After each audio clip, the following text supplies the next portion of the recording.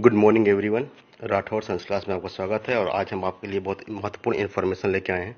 और ये इन्फॉर्मेशन आपके संबंधित है टीजीटी और पीजीटी के विज्ञापन से संबंधित दोस्तों। और ये टीजीटी पीजीटी का विज्ञापन जून में जारी होगा। लेकिन उसके पहले हम इसका पूरी डिटेल कवर करें।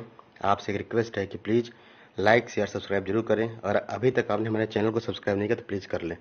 तो चलिए दोस्तों कवर करते हैं पूरी डिटेल को। और डिटेल क्या है कि जून में देखिए साफ़ सब लिखा है न्यूज़पेपर की हेडिंग है और न्यूज़पेपर के थ्रू हमको इन्फॉर्मेशन मिली है कि जून में जो डिजिटल और पीजीटी का विज्ञापन है दोस्तों, वो क्या होगा? जारी किया जाएगा।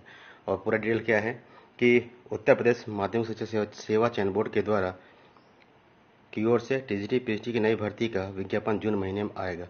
और मंगलवार को प्रतियोगी मोर्चा के प्रतिनिधिमंडल को चयन बोर्ड के अध्यक्ष ने यह आश्वासन दिया है कि प्रतियोगी मोर्चा प्रतियोगी मोर्चा के अध्यक्ष विक्की खान के नेतृत्व में सात सदस्यीय प्रतिनिधिमंडल ने चयन बोर्ड के अध्यक्ष वीरेश कुमार से मुलाकात की। प्रतिनिधिमंडल ने मांग रखी थी कि टीजडी पीएचडी में अधिकतम पदों पर भर्ती निकाली जाए। प्रतियोगी मोर्चा के अध्यक्ष विक्की खान का दावा है कि चयन बोर्ड अध्यक्ष ने आश्वासन दिया है कि नया विज्ञापन जून माह में आएगा। अध्याचन में जो सीटें बढ़ेंगी उनको इसी विज्ञापन में समाहित किया जाएगा।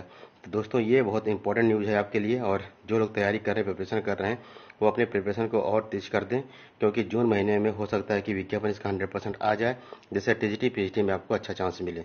वीडियो देखने के लिए धन्यवाद। आपका दिन शुभ हो।